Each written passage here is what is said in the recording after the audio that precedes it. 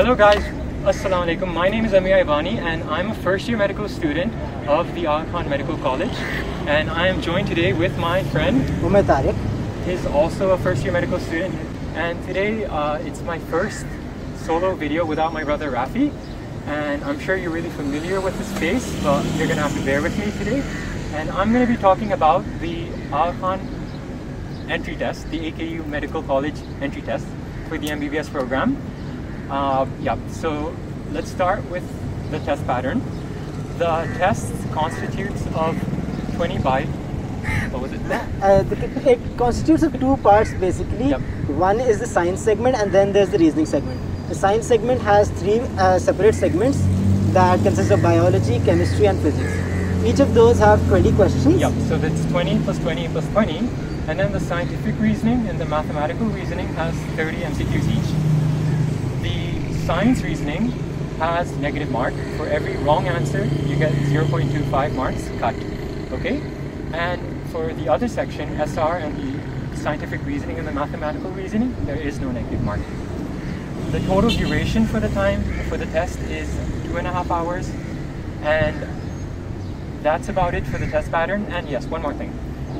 You can do this, you can attempt the whole paper in any order you want. So you're going to be given the whole test together and you attempt it however you want it. And yeah, let's move on to the next part. So we're both from A-level backgrounds. I did my A-levels from the Karachi Grammar School and Um, I was from Generation School. Yep. So we, I did my A-levels back in 2018. I took a gap year and I got into AKU.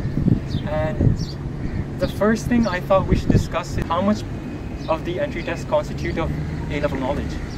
Roughly, Um, like I thought it was 40%. I guess 30, 30 to 40%. 30 to 40 percent because you have to know the basics of what was going on in the test, what you did in A levels. Because if you did not know that, then um, the, you cannot build on the concepts in the intersyllabus because the concepts at the base were the same. Yeah. It was just the things that were more at the superficial level that were changed in it. Yeah, so like I, I, I tell everyone, uh, those who message us on Instagram, follow us, uh, they DM us asking us asking us about A-level intro and all of that, and I tell them that with your matric knowledge, with your matric and O-level knowledge, you can easily solve at least 10 to 20% of the paper, roughly, on the minimum. So maybe it's an overassumption, but if your concepts, your A-level and your O-level concepts clear, you can easily do 40% of the page. Uh, let's discuss about tuitions. Did you take tuitions for it? Well, I did take an admission at a place, but I didn't really go because I didn't really think that it was uh, doing me enough benefit as uh, me studying at home would do. Exactly. So, like I said, I took a gap year, and in my first attempt, I did attend a coaching center, that too for a week or two, and I decided to leave it because it was exhausting and it was brain draining. So I thought it was quite useless, and I didn't do it. And even in my second attempt, I did. I opted not to take uh, coaching, external help. And yeah, third part. It takes like a lot of time. Exactly. The classes continue for the whole day, and then you basically are so drained that you don't have time to study anything else. And especially now with lockdown, I think all of these coaching centers are taking online coaching over Zoom. And honestly, if you're going to do Zoom classes, why not just go to YouTube and Google whatever help you need? And so that's uh, pretty much it. And Coming to the books, yeah, coming to the books. uh, I'd say the most important thing for an A-level student after having the basic A-level knowledge is to at least be aware of what the uh, federal board syllabus is. Like you need to go through the syllabus for all three sciences, and like you have to know about it. And other than that, then there is also um, yeah, like what I did, I studied SATs, SAT, SAT2s. So I covered the SAT2 Barron's, uh, subject-wise biochem physics, and I found it like obviously it was my second attempt, but then at the same time I felt uh, having studied inter previously, I felt SAT2 was just as sufficient maybe, and although like I studied SAT2, I supplemented it with my uh, inter textbooks, more textbooks, and that was more than enough uh, for me. So We were discussing about books, and uh, with in regards to books, I use my SATs Barron's, which were more than enough for me. I attempted various MCQ uh, papers available online. I have numerous compilation of uh, inter uh, MCQs, And one thing I want to add over here is if you find uh, various sellers selling AKU past papers online on Instagram, on Facebook, or in your local bazaar, they are more than like they're fake because AKU does not release past papers. The only sample paper you have is available on their website, so you can check that out. And uh, if you want to on, that, I think for an A-level student, it's essential to be uh, at least aware of the federal board syllabus, Yep. which can be found on the AKU website again. And they should know what are the things that they need to build up more on that were not covered in A-level specifically, because those things tend to be asked quite a bit. Yep. So I think you need to be aware of the federal board knowledge as well. Yeah, so what I did, uh, like Umar said, I printed the uh, syllabus, AKU syllabus, all three subjects, and I highlighted the topics that I already knew from my prior knowledge. And then uh, all the unlighted things, I would go through the textbook, I would use the internet, I would go through intertextbook, SAT textbook, and then I would eventually highlight the whole thing. So if you see the syllabus I have at home, it's all highlighted because I eventually covered everything. So that's about it. Now uh, let's talk about, let's go a little bit more into details uh, Okay. subject-wise. So uh, let's start with biology. Biology. So what do you think about biology? I think when people see the federal board syllabus for the first time, they see all the kingdoms and the classification stuff, and that's Taxonomy. like taxonomy is the real headache. Um, you don't need to ratify every single thing, but you, I guess, you need to know about the basic main branches of the different kingdoms and stuff. Exactly. And one thing I can add is eventually, no matter what, even if you get into AKU, you have to take your MCAT. So MCAT has all of that. Okay, guys. Uh, one thing I want to add to that is how you eventually have to take your inter your MCAT wherever province you're from. You're gonna have to take the MCAT, and in the MCAT you have to study taxonomy. So it's usually a smart idea to study it for the AKU, and then that could uh, help you preparing for your MCAT. Considering the amount of time you have right now, the test is on the 6th of September.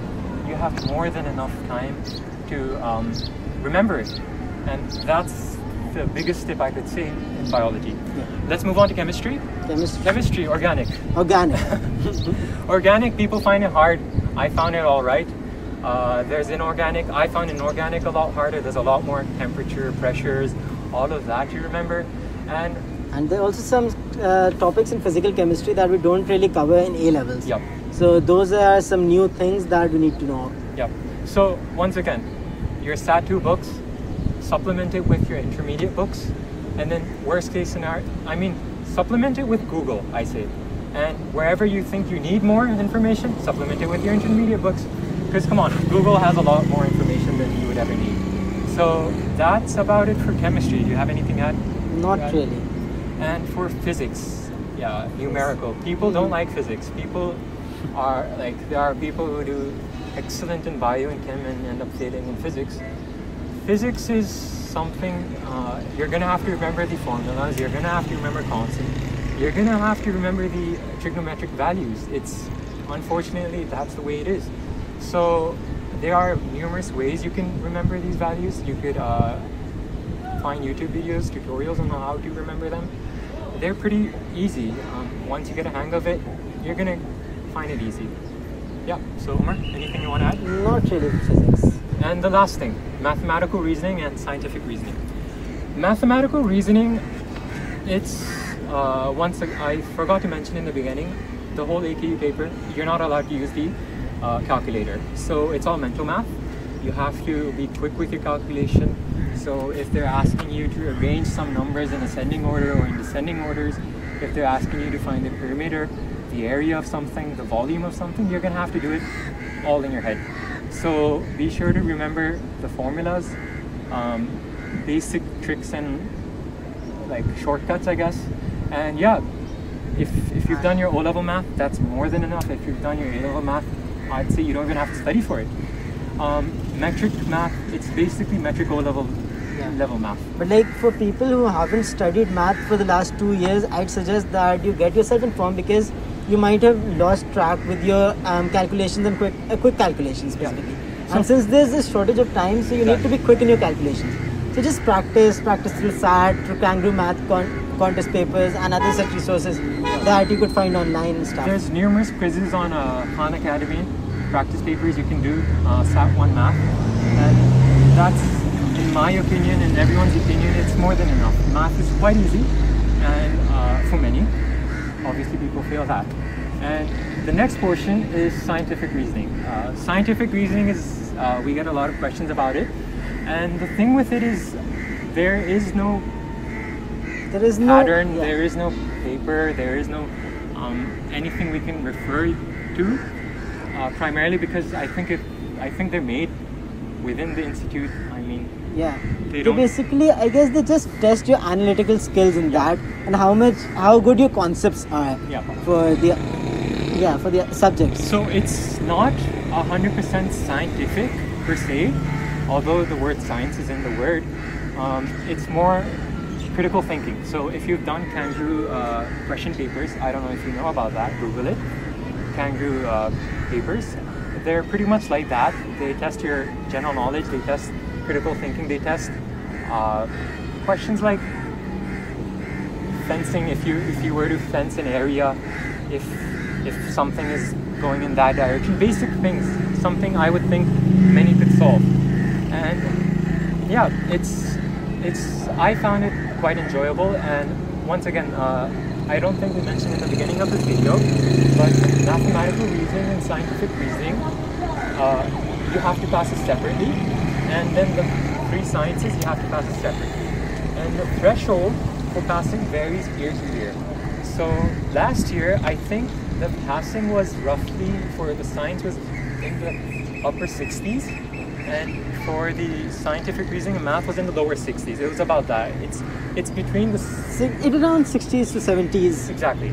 So it's about that. So it's not pretty high, it's not pretty low. So if if you practice it over and over again, you're gonna get a hang of it. And at this point, one final tip I would say is uh, you have plenty of time. You have the whole of July, the whole of August, and six days of September. You have two months. Two months to study for the AKU test. Um, we had what? We had like barely like around 15 days in which there was also the days. Eid break in between. I had two days because I had uh, I took accelerated uh, A levels in my repeat year, so I had two days after my last MCQs to prep for it. So people manage obviously, but this year, uh, a word of caution. Uh, considering everyone has the same amount of time as you have, everyone is preparing just as much as you are. Everyone has just as much information going into their head. So what that could mean is threshold could go high. People could ace the paper. You never know. So you just have to be prepared about it. And I'm sure we warned all of you on our Instagram stories. We've been telling you ever since the announcement was made to start prepping from now.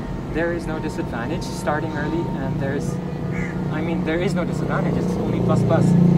So if you start early, if you, um, it's eventually going to help you in your AKU test as well as your MCAT test because you they're both quite quite close together this year. Yep. Um, We had a lot of time between the two tests. Exactly. So due to the delay, the pandemic going on, I have a gut feeling that maybe the uh, MCAT would go right after the AKU test. You never know.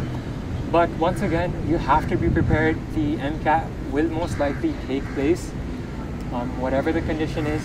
AKU test is most likely going to take place. I mean, the date is given out, so start preparing from now. It's it's for your advantage. Yeah. And any last marks? Any anything you want to tell them? All the best, guys. yeah. And yeah just take it easy. It's not a hard paper. It's it is a hard paper obviously. The camera camera woman is smiling behind the camera. But it is a hard paper. But if you take it with a cool mind because in my opinion everyone goes there prepared okay? Nobody goes there with a blank mind. So if you uh, go there with a good mind have your breakfast in the morning don't study the day before drink plenty of water you're gonna go there with a good vibe you're gonna ace the paper eventually. So yeah just stay positive about it don't feel too bad. I know the pandemic can be depressing. Hang out with your friends have a zoom call have a zoom party uh, enjoy your time uh, use the virtual setup and yeah just enjoy your time studying that's all I can say. yeah, and excuse the noise. Uh, we're sitting outside. We got kicked out of the uni for filming. So yeah, excuse the noise if the voice isn't clear. And yeah, good luck. Luck.